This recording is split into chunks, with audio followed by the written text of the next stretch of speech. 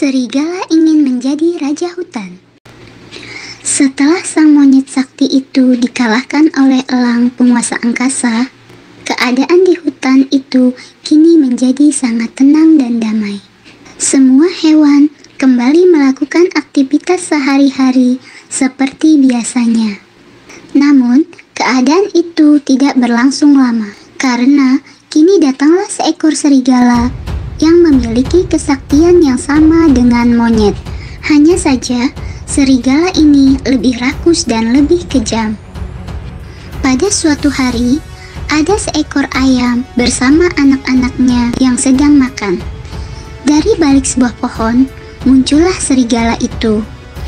Sebelum memangsa ayam, ia menghancurkan kandang yang ditempati ayam.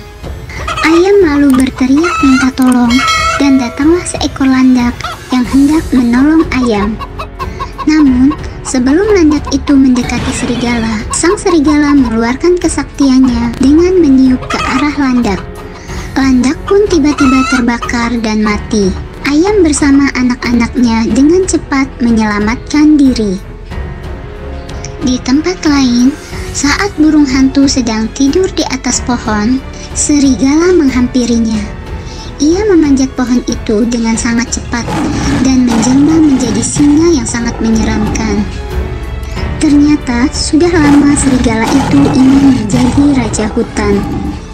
Ia menyebar teror dan ketakutan kepada hewan-hewan lain dengan kesaktiannya. Hal itu dilakukan agar terdengar sampai ke raja hutan yaitu harimau.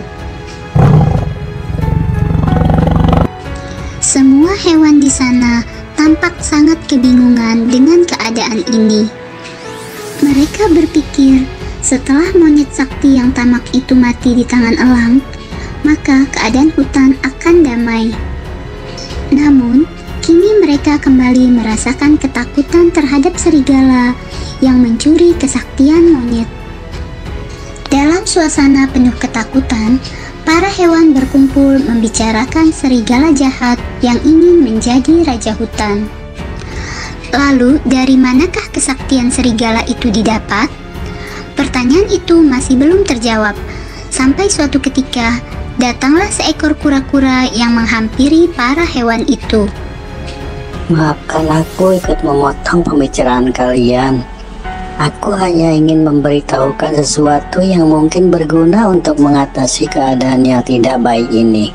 Silakan wahai kura-kura, kami sangat senang jika kau ikut memberikan masukan untuk mengatasi keadaan ini. Begini, sewaktu dulu sang elang mengalahkan monyet yang menjelma menjadi ular, bagian kepala ular itu tidak ikut dimakan oleh elang. Nah, sekarang serigala yang sedang mengincar kesaktian monyet memanfaatkannya. Apa maksudnya kura-kura? Apakah dengan memakan kepala ular itu, kesaktian monyet berpindah kepada serigala?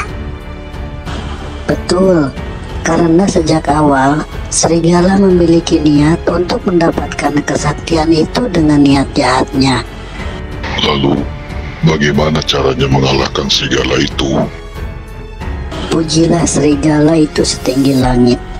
Lalu mintalah agar ia mau masuk ke lubang tikus yang paling dalam. Keesok harinya, seekor tikus yang diminta oleh para hewan dengan keberaniannya memanggil serigala. Tidak lama kemudian, muncullah serigala dengan kesombongannya. Wahai Raja Hutan yang sakti, aku ingin sekali menjadi sahabatmu agar aku tidak lagi menjadi incaran para kucing. Serigala pun sangat senang sekali karena tikus memanggilnya dengan Raja Hutan. Aku memang Raja Hutan. Apakah hewan-hewan lain sudah menganggapku sebagai Raja Hutan? Tentu saja.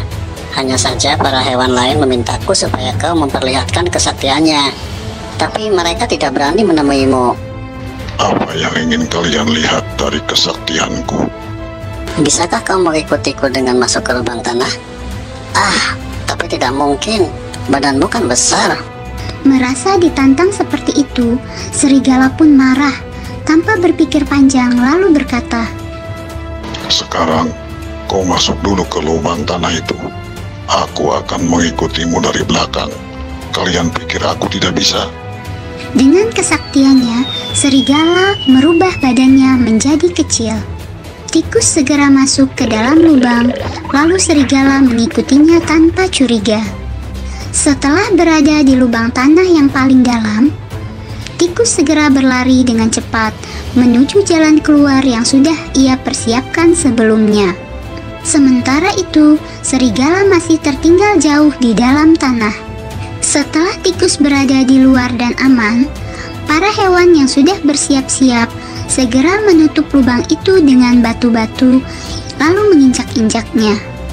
Akhirnya, serigala sakti itu pun mati terkubur di dalam lubang tikus yang paling dalam.